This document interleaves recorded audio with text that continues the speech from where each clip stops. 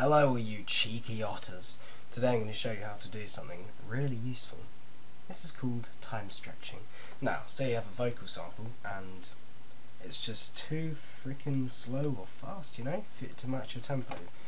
I'm going to show you how to make it the right speed. Right, this is going to make more sense in a minute. Right, so what you want to do is grab your vocal sample.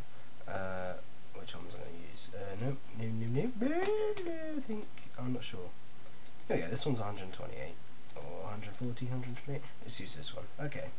Uh, we're going to drag it into our FL Studio. Just drag it down. I want. Yeah, that seems good. Uh, so we're going to set it down to 140 just to match the time. And I'm going to make a generic drum and bass loop. Uh, I.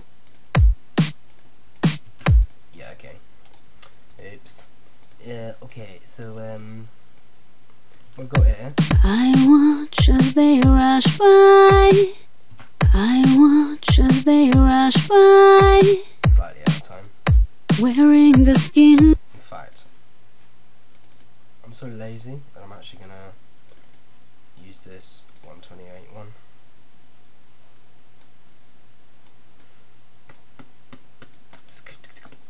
Uh. Rest so let's bring it back to uh, 228. the time has come to break. Okay, that's pretty much alright. So, now for the time stretching bit.